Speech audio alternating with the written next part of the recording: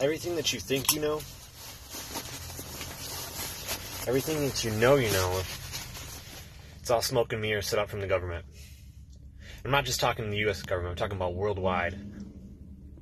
Indrid Cold, otherwise known as a grinning man, cannot be trusted. The Greys are in on it. Mothman is a hybrid.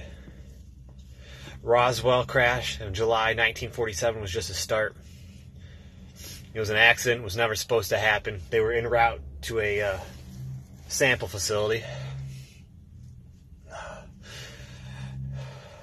Betty and Barney Hill. September of 1961 was another accident. They were not supposed to remember. Again, with Travis Walton, November 5th of 1975, there were way too many people who witnessed the encounter. Also, an accident. You see, they think that everything that's going on,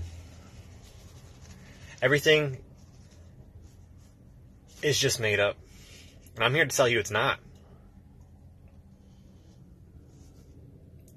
The aliens, the government, they make mistakes just like you and I.